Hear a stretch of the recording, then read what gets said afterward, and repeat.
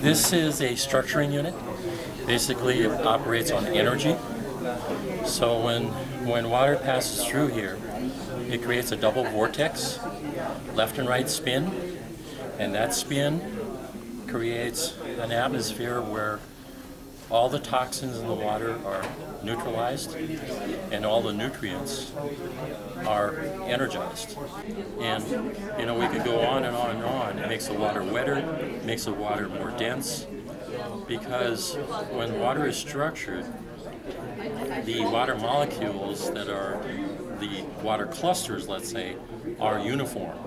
So when you got when you have a whole bunch of marbles in a bag and they're all different kinds, all different sizes, the, there's a lot of spaces. When you have structured water, all those clusters are the same size, so you get a denser, more complete, full, filled uh, water space.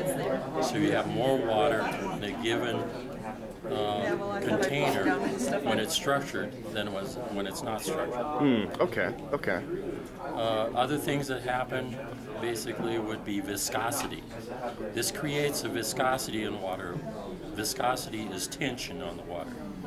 The ability for a uh, water strider, a, a, a bug, to walk on water. When water is structured, basically if one of those bugs comes to land on the water or walk on the water, they'll drown because the viscosity is so low.